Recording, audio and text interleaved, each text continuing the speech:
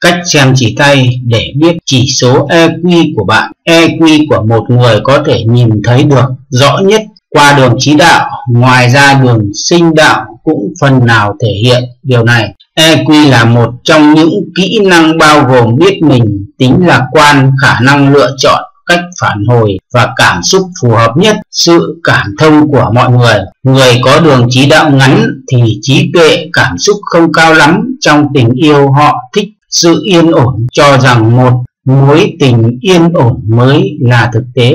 Cuối đường trí đạo bị phân nhánh, nếu phân nhánh ngắn thì EQ rất thấp, nếu phân nhánh lớn có thể coi như là hai đường trí đạo, thì người này có EQ khá cao, người có đường trí đạo sâu, dài và rõ ràng trong phương diện tình cảm, biết nắm bắt cơ hội nỗ lực đạt được danh tiếng và của cải nhờ vào trí thông minh của mình, nhưng nói chung trong tình yêu cũng dễ gặp khó khăn. Đường trí đạo uốn éo chứng tỏ suy nghĩ tình cảm phức tạp, sống thiếu nguyên tắc và khá vô tổ chức nên hay ưu sầu buồn bã. Có hai đường trí đạo là người hai mặt nhưng tính tình khá ôn hòa, người có đường trí đạo quá dài, trong suy nghĩ và hành động luôn xem bản thân là trung tâm do quá tự tin nên khó có thể đối mặt với thất bại. Đầu đường sinh đạo, cách xa đường trí đạo là tính tình kêu ngạo, không biết kiểm soát cảm xúc của mình EQ không cao. Đường trí đạo mở rộng đến tận gò thủy tinh, là người tính tình kiên cường, không sợ khó khăn. Đồng thời EQ khá cao, giỏi giao tiếp, chuyện tình yêu cũng nhờ. Vậy mà thuận lợi, sinh đạo và trí đạo xuất phát cùng một điểm thích làm việc theo kế hoạch cẩn thận tỉ mỉ nhưng là người dễ kích động, chuyện bé xé to cho nên khó phát huy được tài năng của mình. Đường trí đạo gần với đường sinh đạo sau đó cắt đường sinh đạo kéo dài đến tận cổ tay. Người này tính tình ích kỷ yếu đuối không làm được việc. Trên nhánh của đường trí đạo có đường gạch chéo là EQ cao, sắc bén, sáng suốt phù hợp làm kinh doanh trong tình yêu có thể khiến đối phương yêu mình sâu đậm. Quý đường trí đạo phân làm ba nhánh, thường là người hiền lành, khi làm việc rất nhiệt tình nhưng tính cách lại thiếu ổn định. Cuối đường trí đạo là một đường thẳng song song là cực kỳ lạc quan luôn hướng về phía trước. Đầu đường trí đạo có một đường thẳng song song là người bi quan tư tưởng bảo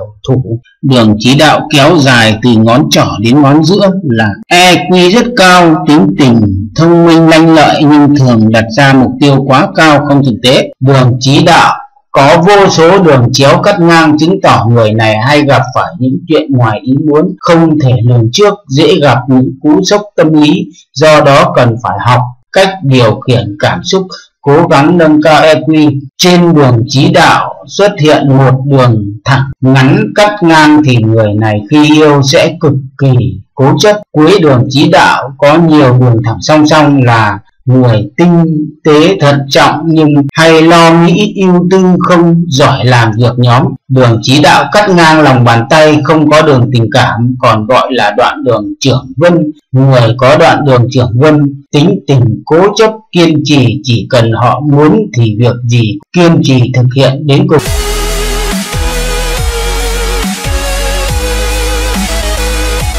Cách xem bói chỉ tay đường thái dương. Đường thái dương là đường hỗ trợ quan trọng trong đời người. Không phải ai cũng có tính xác suất thì cứ 100 người có khoảng 40 đến 45 người có bàn tay có đường thái dương. Đường thái dương cho biết sự thành công và tiền tài. Đường này càng dài đậm, càng gặp nhiều thành công và thành đạt. Đường thái dương chạy từ lòng bàn tay lên thẳng tới ngón đeo nhẫn, tức là gò mặt trời. Đường này có khi khác nhau ở hai bàn tay chứ ít khi giống hệt nhau, trên bàn tay trái là mệnh số, còn ở bên bàn tay phải là hiện thực hóa mệnh số. Nó bị chi phối bởi duy biến và thường biến, nên ít nhiều kém hơn đường phía tay trái về độ dài và độ sâu rộng. Đường mặt trời mà sâu đậm tới sát, ngón đeo nhẫn áp út thì càng lớn tuổi càng thành công. Đường này dùng trước gò mặt trời thì sẽ không may mắn và chấm dứt tiền tài và hạnh phúc nếu mờ nhạt,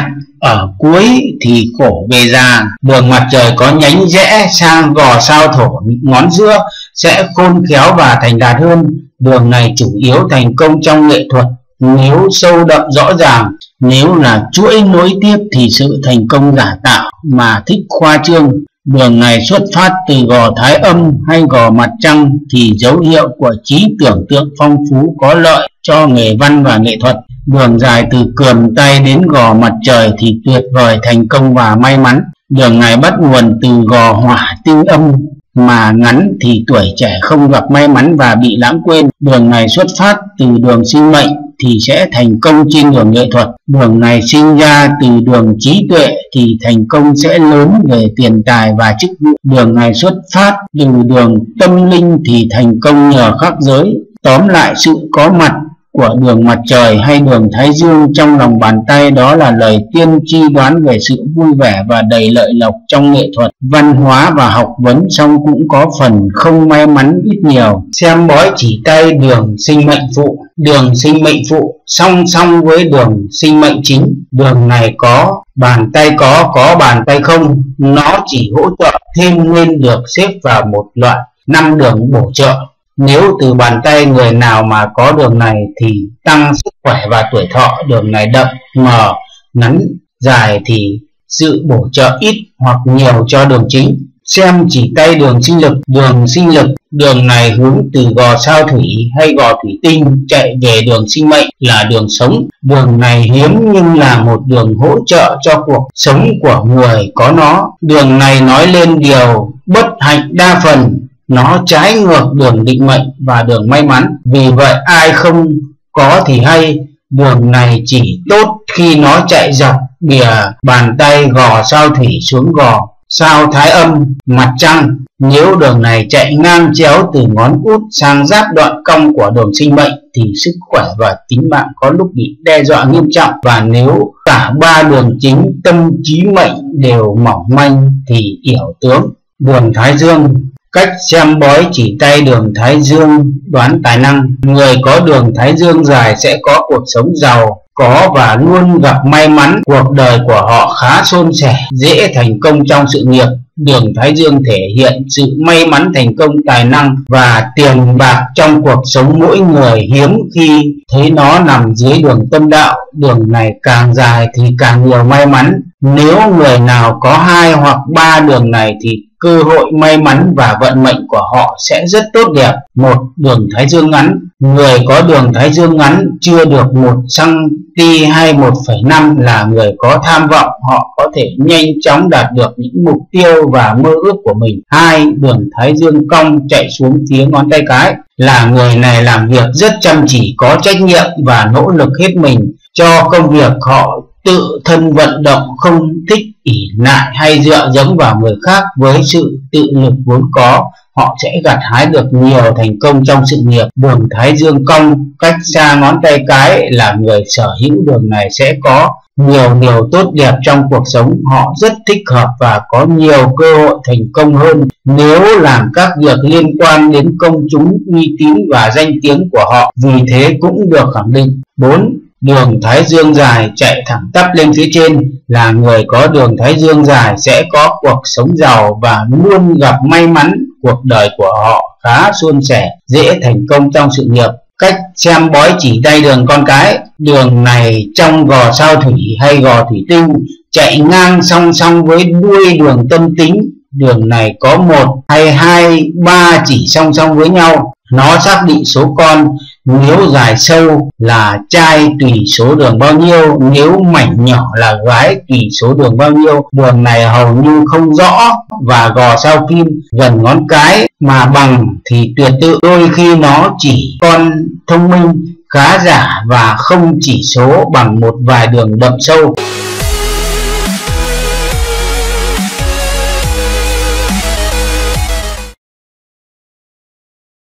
Xem chỉ tay đoán vận mệnh. Một, dấu hiệu được thừa hưởng gia tài bạn muốn biết mình có được hưởng gia sản thừa kế hay không. Một, số dấu hiệu xuất hiện trên bàn tay giúp bạn đoán được rõ ràng hơn về điều này. Có một đường thẳng đi từ trong gò mộc tinh lên gặp ngôi sao ở gò mộc tinh là mô thịt nằm dưới chân ngón trỏ được thừa hưởng gia tài lớn đường thẳng từ gò thái âm lên gặp ngôi sao ở gò mộc tinh là dấu hiệu được thừa hưởng tài sản lớn do kết hôn với nơi quyền quý cao sang. Hai, hình thửa ruộng là hình chữ điền ở gò mộc tinh là có được của cải nhà cửa ruộng đất. Ba, dấu con sông ở gò Thái Dương là mô thịt nằm dưới chân ngón đeo nhẫn là có cuộc sống sung sướng và hưởng một gia tài lớn. bốn Sáu ngôi sao xuất hiện từ trên bàn tay là được thừa hưởng một gia tài lớn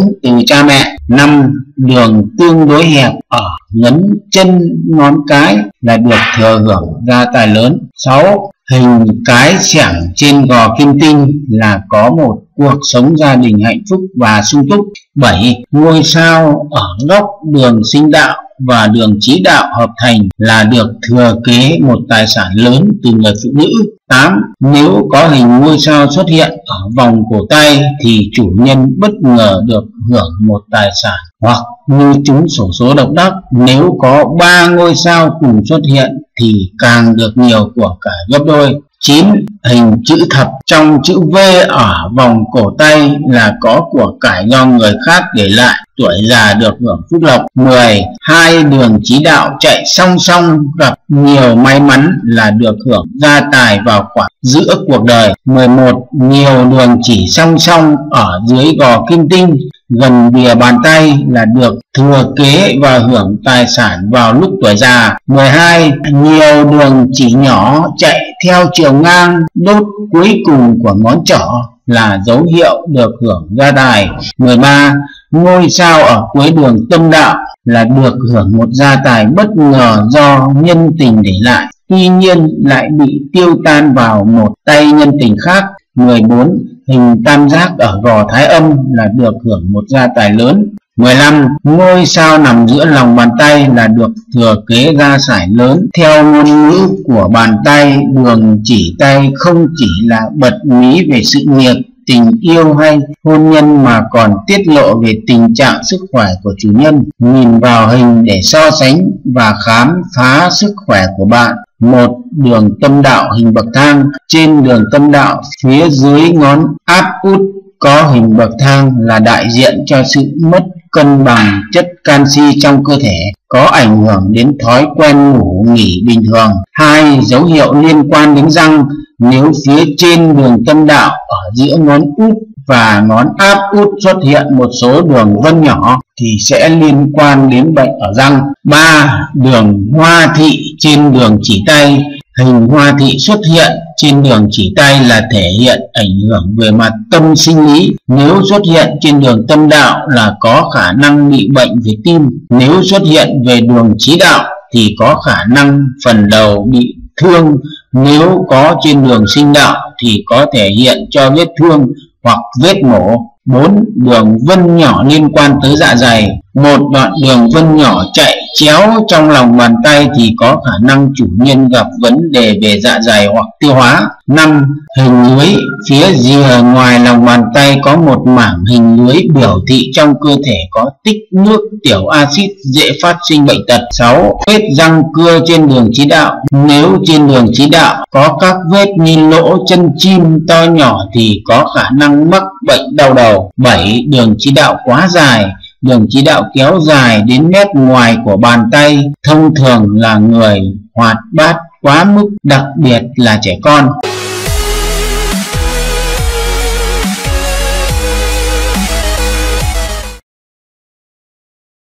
tám Đường liên quan tới bệnh dị ứng Đường này dài xuyên qua gò thái âm thì dễ mắc các bệnh dị ứng 9. Hình oval trên đường tâm đạo, Đường tâm đạo phía dưới ngón tay giữa xuất hiện hình oval thì thính giác có khiếm khuyết Nếu hình này ở phía dưới ngón tay áp út thì có vấn đề về mắt 11. Đường tâm đạo có đoạn mờ nếu trên đường tâm đạo có đoạn chỉ tay mờ thì biểu thị một khoảng thời gian tâm lý rơi vào tình trạng căng thẳng. 12. Hình oval trên đường trí đạo Nếu oval xuất hiện trên đường trí đạo, biểu thị cơ thể suy yếu xuất hiện trên đoạn khởi đầu đường trí đạo, tức là có bệnh về hô hấp. Nếu hình oval xuất hiện càng gần phía dưới về cổ tay, thì người đó có thể bị suy nhược. 13 đường liên quan tới vết thương, đường vân ngang cắt qua trí đạo biểu thị sự thay đổi lớn về tâm trạng. Đường này càng dài càng chứng tỏ ảnh hưởng của sự kiện đó rất lớn. 14 chai sần. Chai là chỗ da cứng lồi lên thường do ma sát nhiều tạo thành, nhưng đôi khi nó cũng là dấu hiệu báo bệnh tật của một cơ quan nào đó. Vết chai sần nằm giữa lòng bàn tay thì có khả năng bị bệnh thận. 15 phân hình thoi khoảng 1 phần 3 dưới lòng bàn tay có thể xuất hiện vết nhăn lớn hình thoi ép sát con đường sinh đạo thì có thể có vấn đề về phụ khoa đối với nữ giới, bệnh tiết niệu đối với nam giới 16 đường vân sát, cổ tay vòng lên. Nếu trên cổ tay phụ nữ có một đường cổ tay vòng lên cao hướng về lòng bàn tay thì chứng tỏ là khá yếu về phụ khoa, gặp khó khăn về sinh nở. Bàn tay là phần mở rộng của bộ não và tất cả các bộ phận trên cơ thể của bạn. Vì vậy hãy thường xuyên xoa bóp tất cả các phần của bàn tay để có một cơ thể khỏe mạnh.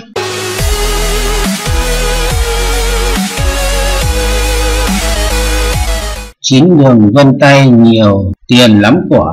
Một, vân tài vận nằm chính là đường vân nằm ngang dưới ngón tay đeo nhẫn kéo dài theo phương thẳng đúng xuống phía dưới lòng bàn tay. Người có đường vân tài vận, có tài kinh doanh, buôn bán, thiên bẩm, nếu làm trong lĩnh vực này thì tiền tài nhiều như nước dồi dào. Mãi không cạn, ngoài ra người này cũng giỏi về các giao dịch, về tài chính khác. Hai, vân hình sao, nếu trên bàn tay có vân hình sao nằm ngay gò thủy tinh bên dưới ngón tay út là dấu hiệu phát tài bất ngờ. Dù là nguồn chính hay phụ đều tăng đột biến. Ngoài ra con cái của người này cũng có tài vận tốt, cuộc sống sung túc, giàu có. Theo đó người này được hưởng phúc lộc từ con cháu đến khi về già. Ba, ngay trên gò mộc tinh dưới ngón tay trỏ có đường hình chữ thập hoặc chữ cộng cho biết chủ nhân của bàn tay này có sự ảnh hưởng lớn trong sự nghiệp do đó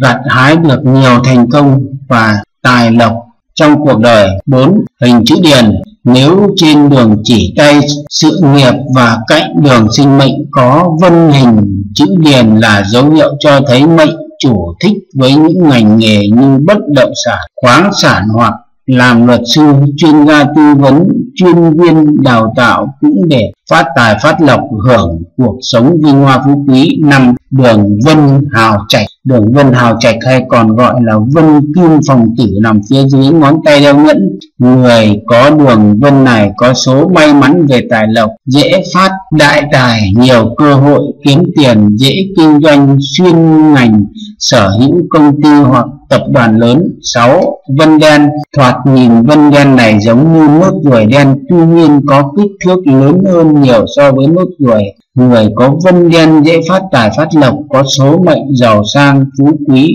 Tuy nhiên, khi nắm bàn tay lại một cách tự nhiên, Vân đen này phải nằm gọn trong lòng bàn tay Nếu lộ ra ngoài sẽ không tốt 7.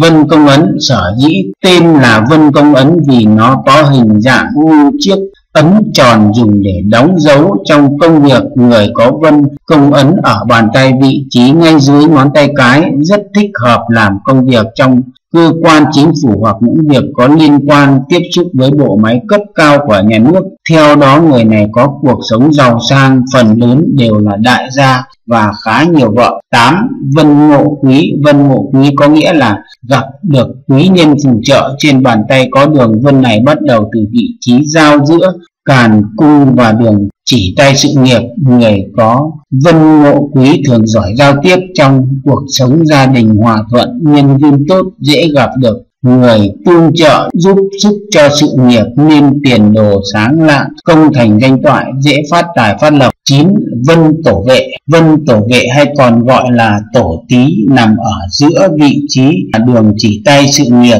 có nghĩa là được tổ tiên che chở hậu thuẫn địa phần. Địa phận người có vân này đều được thừa hưởng sản nghiệp của tổ tiên để lại nên dễ dàng thành đạt và giàu có.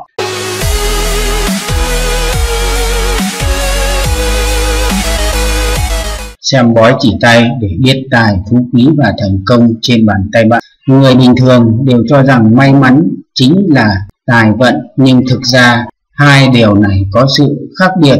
Bàn tay của con người chỉ có thể cho thấy được sự giàu sang của một người. Có đôi bàn tay dày dặn sẽ thông qua nỗ lực của bản thân mà có được sự giàu sang phú quý.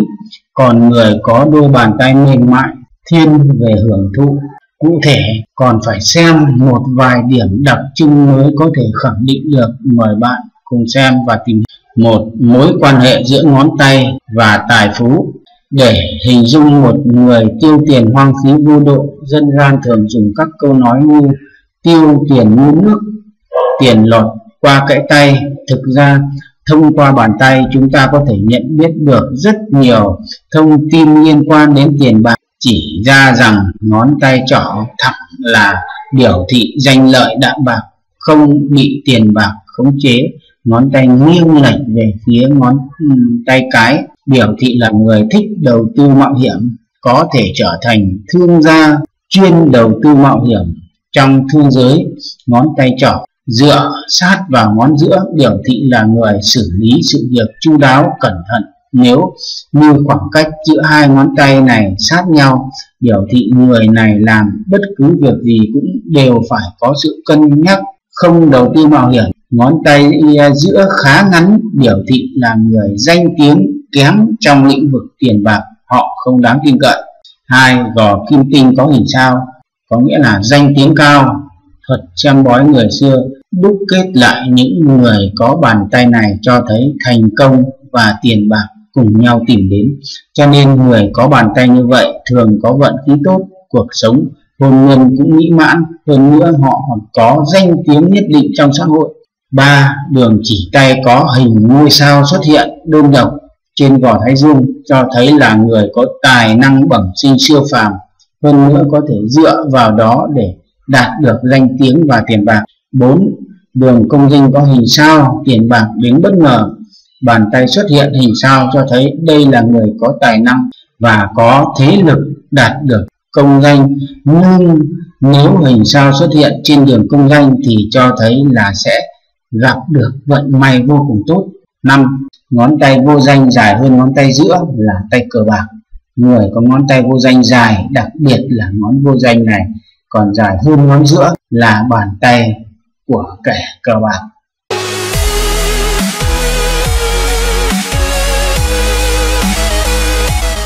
Xem bói tướng tay của người có quý nhân phù trợ, người có quý nhân phù trợ thì tướng tay sẽ thể hiện như thế nào? Nếu như trong cuộc sống hiện thực này, ngày nay, nếu bạn có quý nhân giúp đỡ thì nhất định bạn phải cố gắng nắm giữ lấy cơ hội đó. Tạm thời chưa có quý nhân phù trợ thì cũng không nên nóng vội. Xem bói chỉ tay bạn sẽ biết các đường, chỉ tay ghi lại một cách chi tiết lúc nào bạn và sẽ có quý nhân tương ngộ đường vận mệnh xuất phát từ phía trong của đường sinh mệnh và kéo dài lên phía trên. Xem chỉ tay mà bàn tay có đường vận mệnh xuất phát từ phía trong đường sinh mệnh, kéo dài lên phía trên của đường vận mệnh. Ngày ngoài báo hiệu, bạn sẽ nhận được sự phù trợ và giúp đỡ của cha mẹ và người thân ra. Còn báo hiệu bạn sẽ được sự giúp đỡ lớn mạnh từ người đi trước hoặc cấp trên. Đường vận mệnh có đường phụ trợ xem chỉ tay mà đường vận mệnh có đường phụ trợ. Điều này cho thấy được sự giúp đỡ của mọi người trong nhà, vợ chồng hoặc đồng nghiệp. Trên đường trí tuệ có ký hiệu hình cá. Đường trí tuệ có ký hiệu hình cá, mặc dù là đường chỉ mỏng, tương đối nhiều nhưng có một đoạn trông giống như hình đuôi cá. Điều đó báo hiệu đây là người có tài hoa được mọi người công nhận là người nỗ lực và đạt được thành quả.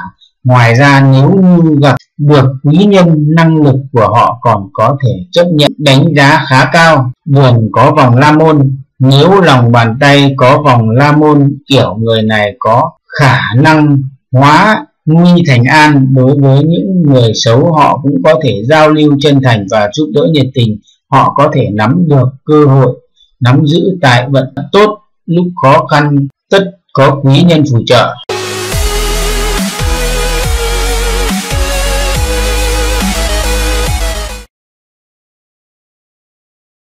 Xem chỉ tay đoán vận mệnh. Theo các tướng thuật gia châu Á, bàn tay chỉ có độ 5 đến 9 đường chỉ. Bàn tay trái nhiều đường chỉ hơn, bàn tay phải. Quan niệm rằng chỉ ở bàn tay trái là tiên thiên và chỉ ở bàn tay phải là hậu thiên tay trái là thế cờ bày, còn tay phải là kết cục ván cờ. Vì thế khi xem, chỉ tay cần xem cả hai bàn tay để so sánh ngầm nhằm khẳng định thông tin. Các loại đường chỉ tay, tuy từ khi chào đời và đương nhiên nó chứa đựng những bí ẩn của cả cuộc đời. Nghiên cứu các loại đường chỉ tay này được coi như là chìa khóa cho ta những thông tin bổ ích nhất là tuổi trẻ nên con đường hướng nghiệp hay tương lai sau này với 15 đường chủ đạo và có đường hỗ trợ, đường bổ trợ cho nhau. năm đường cơ bản của một con người.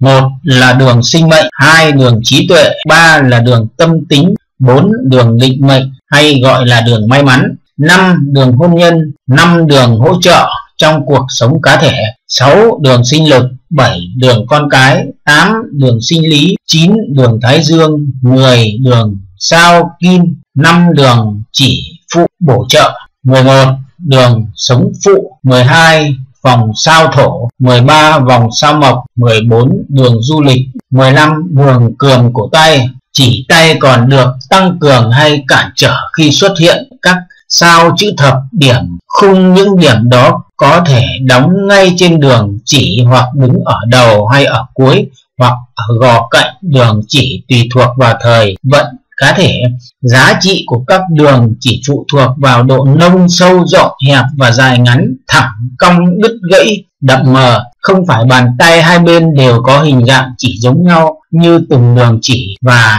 có đủ số chỉ như nhau. Không phải cá thể nào cũng có đủ 15 đường chỉ trên, song ít nhất cũng có đường cơ bản và một trong năm đường chỉ hỗ trợ. Người có cuộc sống phong phú sẽ có đủ 15 đường chỉ trên và có thêm các đường phụ trợ, từng đường chỉ và các thông tin dự báo. Một, đường sinh mệnh gọi là đường sống. Đường này bắt nguồn từ giữa hai ngón cái và ngón trỏ bình thường hoặc sát gần ngón cái hoặc gần ngón trỏ, đặc biệt sau đó có vòng cong bao bọc toàn bộ gò kim tinh xuống cường tay. Thông tin trước hết tuổi thọ và sức sống. Nếu đường sâu đậm, trơn tru là sung lực rất tốt và thọ nếu mở nhạt hoặc rộng gồm nhiều nhân vặn nhau như bình thường thì sung lực kém hay ốm đau nếu có vạch cắt có điểm đứt quãng, đó là điểm gặp tai nạn lớn nhỏ tùy vạch điểm đậm nhạt.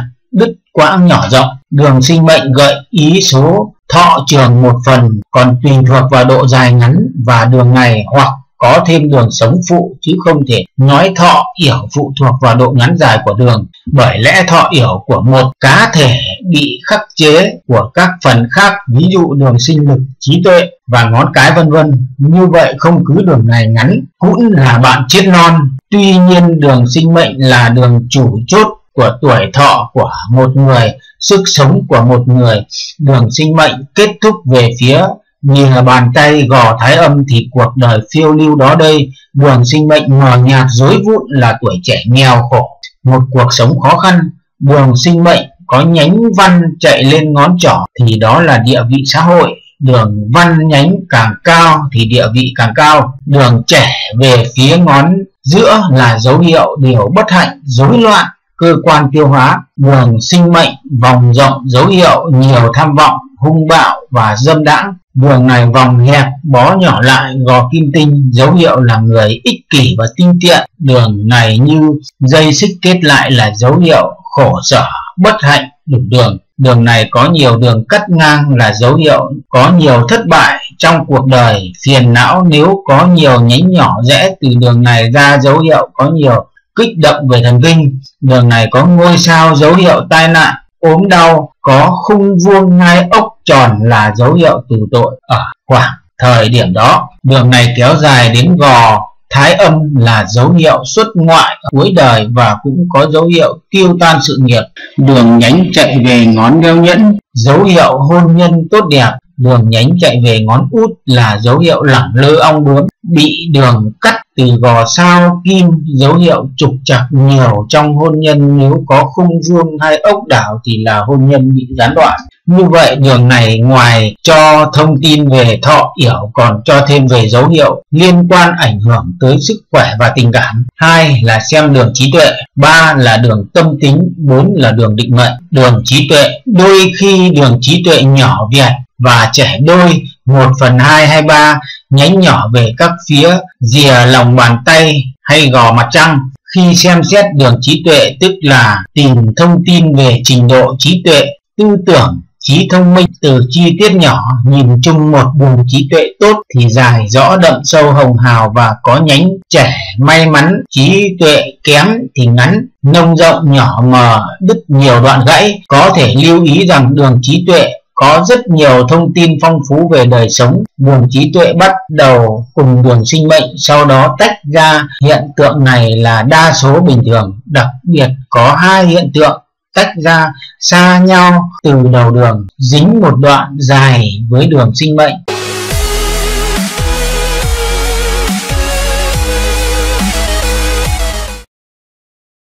Buồng trí tuệ dài rõ ràng, không văn dối, dấu hiệu là thông minh. Đường này rộng và nông là dấu hiệu thiếu tự tin, suy xét nông cạn. Đường này giống cây thừng là dấu hiệu nhẹ dạ cải tin đường này thấp và chia đôi bàn tay theo đường chéo mà rõ sâu là dấu hiệu đặc biệt thông minh và đầy sáng tạo. Đường này dính chặt vào đường sinh mệnh, từ đầu và thẳng, là trí tuệ yếu, tích lũy kinh nghiệm kém, thiếu tự tin. Đường này mà quá ngắn là dấu hiệu ít kiến thức đường này mảnh rõ, dài thì tiếp thu nhanh, tinh tế và khéo léo. Đường trí tuệ chạy cong về ngón út là trí nhớ kém, tính dịu dàng và yếu đuối. Đường này sâu dài có khả năng suy nghĩ tập trung cao độ. Đường rộng nông mở xuất phát từ thân trong đường định mệnh là dấu hiệu của người rất gan, thiếu tự tin và hèn hạ. Sống cô độc và nghèo khổ, đường trí tuệ cong như mỏ gà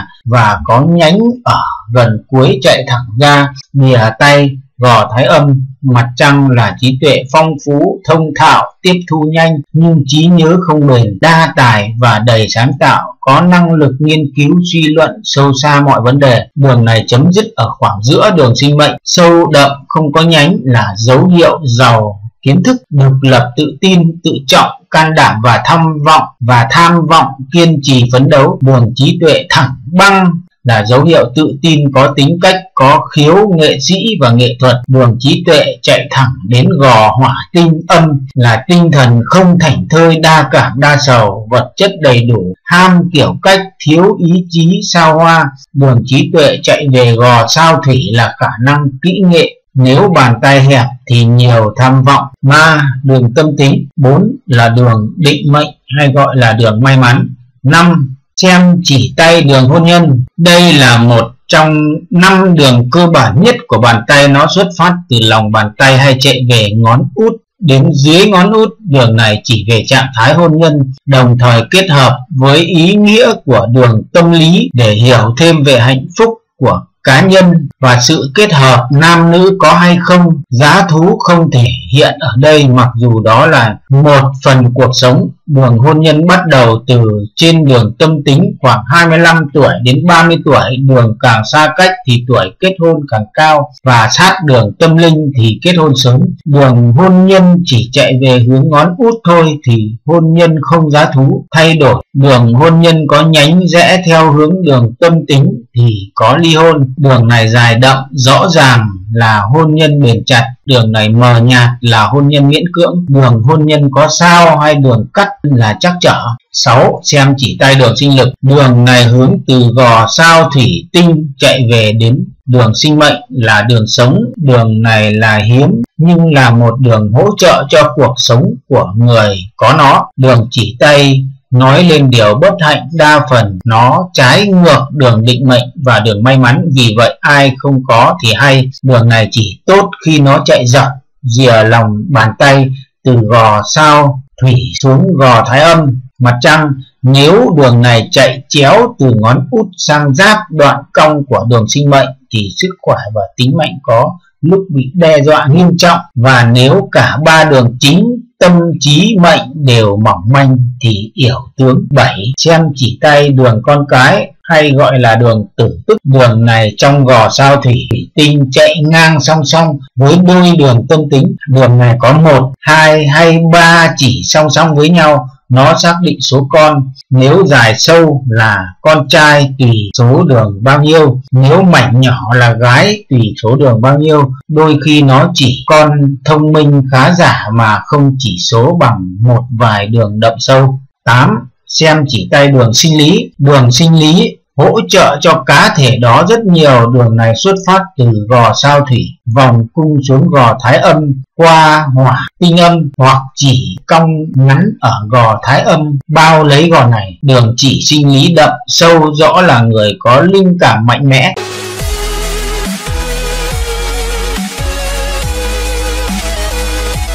Xem hoa tay ở hai bàn tay đoán tính cách, xem hoa tay người ta thường nghĩ ngay tới việc người này có khéo tay hay không. Khéo tay, việc có nhiều hoa tay thì người đó có xu hướng giỏi về nghệ thuật. Bàn tay khéo léo thường vẽ giỏi, trang trí đẹp, cắm hoa khéo, vân vân. Tất nhiên có nhiều hoa tay thì họ có nhiều khả năng thông thạo những điều trên và không có nghĩa người nào cũng có nhiều hoa tay cũng khéo tay. Xin đừng hiểu nhầm, hoa tay là gì? Phân biệt vân hoa tay và vân thường, hoa tay là gì? Hoa tay là các đường vân tay chỉ có hình xoắn ốc và vòng tròn nhỏ nhất nằm chính giữa. Hay nhầm lẫn các đường vân tay hình xoáy nhưng không tròn bị lệch sang một bên thì không gọi là hoa tay vân tay trên các ngón tay của mỗi người trên thế giới đều khác nhau kể cả anh em song sinh.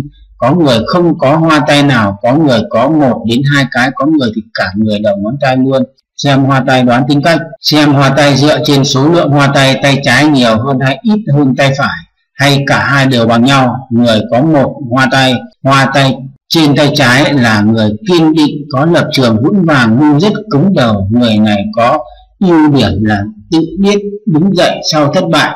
Một khi đã yêu thì khá trung thủy, thường dễ làm nên chuyện lớn trong sự nghiệp. Hoa tay trên tay phải là người này hay gặp rủi ro và khó khăn trong cuộc sống, mặc dù họ cũng có khả năng lãnh đạo và tính tình rất quyết đoán. Người có hai hoa tay hoa tay trên cùng một tay người này có tính tình hiền lành, tốt bụng, nhưng thiếu tầm. Nhìn nên thường hay gặp khó khăn trong cuộc sống. Mỗi tay có một hoa tay người này có đầu óc hai ước và có độ tò mò cao nhưng khá hấp tấp và vội vã, nên thường bỏ lỡ những cơ hội tốt. Người có ba hoa tay Hoa tay ở trên cùng một tay là người thông minh, chăm chỉ, có tài lãnh đạo, hết lòng vì những người mình yêu quý, nhất là với nửa kia. Hoa tay trên cả hai tay người này đa tài và khá may mắn, rất dễ đạt được thành công trong tình yêu là người giàu tình cảm và khá trung thủy.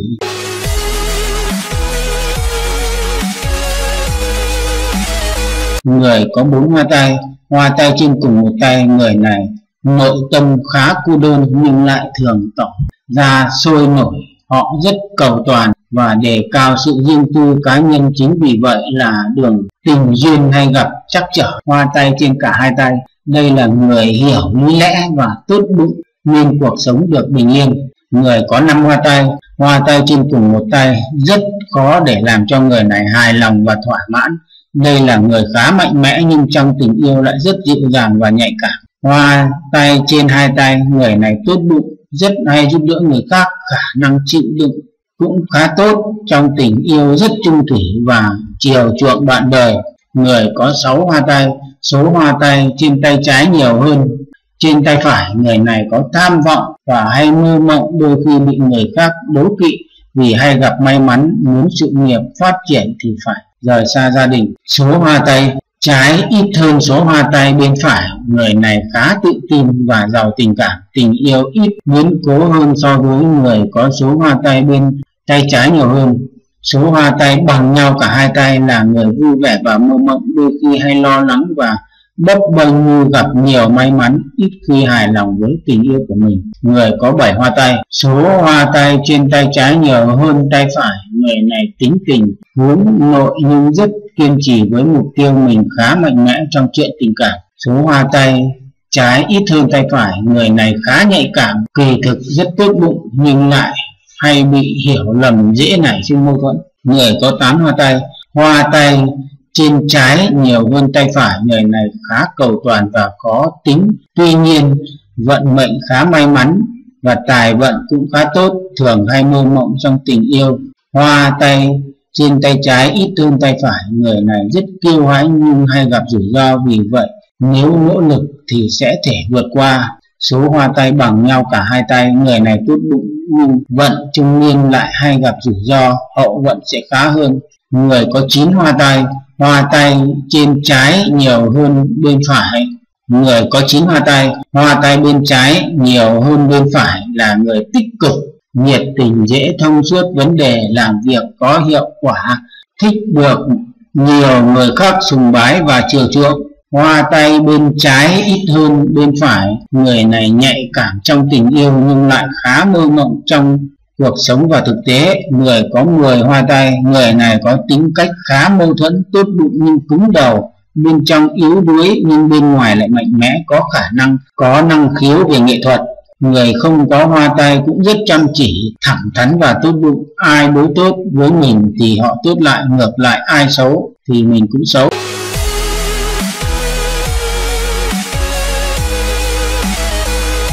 Bói qua bàn tay để biết về đường tình duyên của bạn, tại sao kết hôn muộn?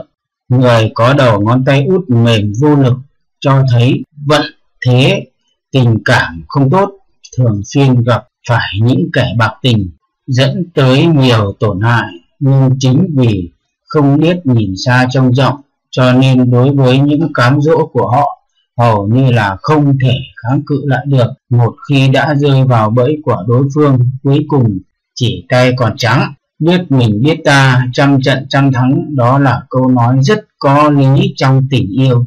Để biết mình, biết ta cũng cần phải xem bói tay tình yêu một cách chính xác mới có thể đưa ra quyết định đúng đắn. Đường tình cảm hiện lên hình bậc thang. Những người có đường tình cảm hiện lên hình bậc thang, biểu thị phương diện tình cảm. Do không có chủ kiến, nên khi chọn người bạn đời thường quá tùy tiện, chỉ là dựa vào tình cảm nhất thời mà quyết định rất dễ bị lừa dối trong tình yêu cộng thêm tình ý lại của bản thân lại khá cao, những người này sẽ nhẹ dạ cả tin vào những lời ngon ngọt của đối phương, cho nên thường bị những lời nói dối đánh lừa, không nhìn được hết chân tướng của sự việc.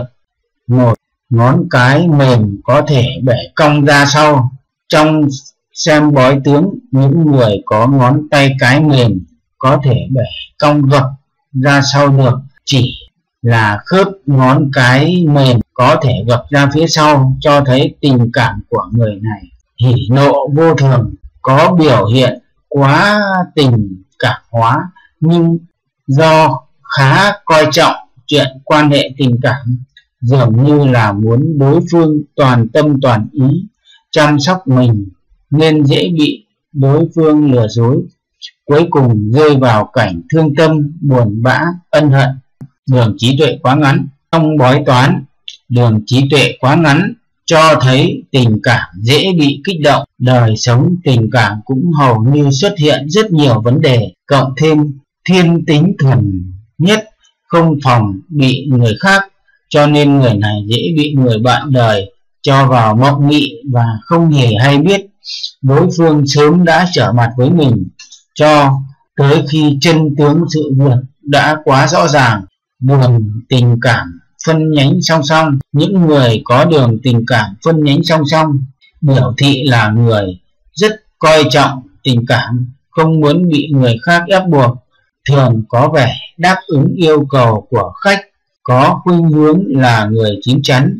Về mặt tình cảm, họ thiếu khả năng nhìn thấu sự việc dù đã biết đối phương có hành vi quay lưng lại với mình cũng sẽ sẵn sàng tha thứ cho mọi hành động của đối phương một mình ôm mối hận trong lòng trên đây là những phần luận giải chi tiết về lá số tử vi của kênh kiến thức vậy rất mong muốn các bạn hãy like hoặc chia sẻ cùng bạn bè Để chiêm nghiệm tử vi này, chủ đề tiếp theo của các bạn thích là gì? Hãy bình luận cho kiến thức lá số tử vi nhé. Hoặc like đăng ký kênh để cập nhật video mới nhất, nóng nhất của thế giới kiến thức tử vi. Rất chân thành cảm ơn các bạn đã ủng hộ thế giới kiến thức tử vi trong suốt thời gian qua. Chào tạm biệt và hẹn gặp lại những video sau. Chúc các bạn có được những ngày vui vẻ và tràn đầy hạnh phúc.